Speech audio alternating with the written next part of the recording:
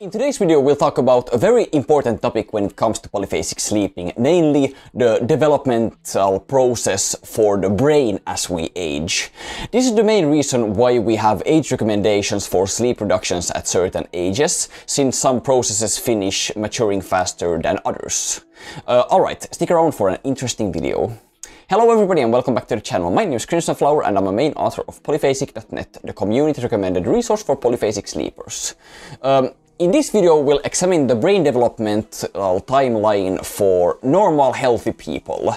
Um, it's worth noting that if you've been in a traumatic situation or you're otherwise not healthy, uh, this timeline may not be applicable to you. It should also be noted that the brain never stops developing as it changes throughout life. So instead of using that as a waypoint, we'll instead focus on certain parts of your body and when they fully mature or turn into their adult, adult counterparts. The purpose of this video is to help you assess the risks of a polyphasic sleep pattern at specific ages. And what do I mean by that? Well, as you probably know, we have a video series about whether polyphasic sleeping is actually dangerous, which will be linked in the description.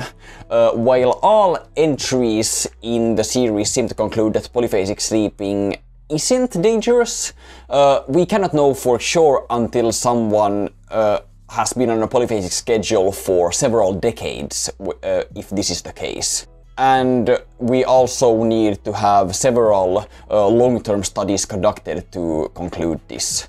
Um, and because of that, we can't prove with 100% certainty that the no developmental issues will arise from someone sleeping in a polyphasic pattern, even though the evidence is currently pointing to that not being the case.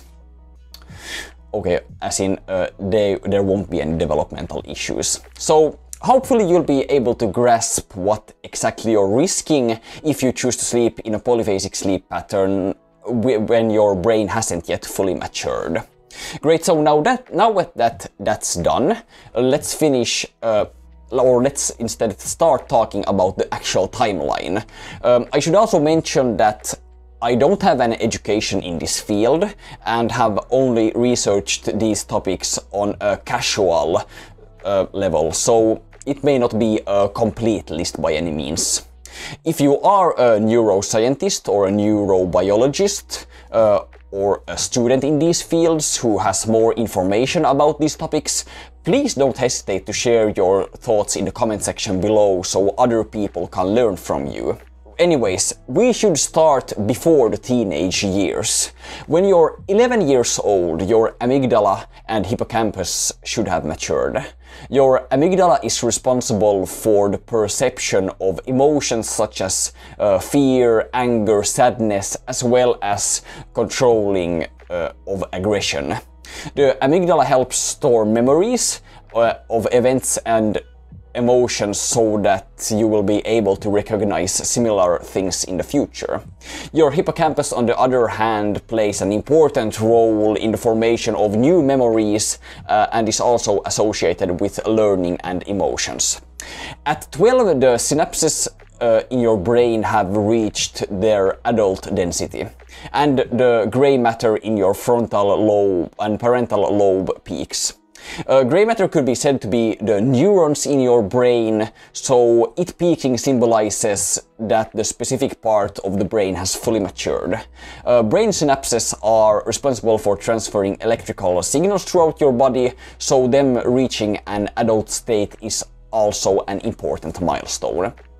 When you're 13, the areas of your brain that are involved in special orientations and language have matured. And when you're 16, your corpus callosum has finished thickening, uh, which improves adolescents' ability to process information. At this age, the gray matter in your temporal lobe also peaks, and that's why we advise people against shortening their sleep before this age. Once this part of the brain has finished thickening, you are a bit more clear in regards to your brain development. And let's now take uh, quite a large jump ahead in time.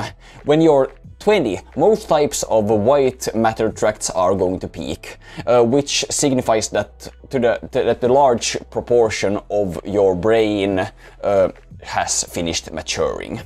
Uh, there are still parts in your brain that aren't done, and some types of white matter tracts are still maturing and growing in size and numbers, but the bulk of the work is done here. White matter is the part of your central nervous system that is made up of uh, myelinated axons, and white matter is responsible for learning, regulating brain functions, and communicating between different parts of the brain. That leaves us with one other event. At age 25, your prefrontal cortex fully matures. This is the part of the brain that is responsible for rational and not emotionally driven decisions, and it's the last part of your brain that matures. Once you've overcome this hurdle, uh, you're pretty much good to go on the experimental side of things, since you won't be at least risking any parts of your brain that are still maturing. Still, reducing your sleep by extreme amounts can lead to other negative uh, things happening to you, um, and uh, you need to be you need to remember to be careful with those things with uh, more extreme schedules. Uh, if you're interested in learning more about sleep needs and how much you can realistically reduce your sleep while you're on a polyphasic schedule, we've made a video on it that you can check out after you watch this one. Uh, the link to it will be in the description. So, okay, thank you for watching this video and I hope you learned something new. Uh, now you should be able to be more aware of the risks associated with reducing sleep at certain ages. And while I don't remember, while I don't believe that there is a risk to adapting to a polyphasic schedule, it's best to play it safe and follow the community recommendations for the specific sleep needs at specific ages. Okay, I'll be seeing you in the next video. Remember to nap well, people!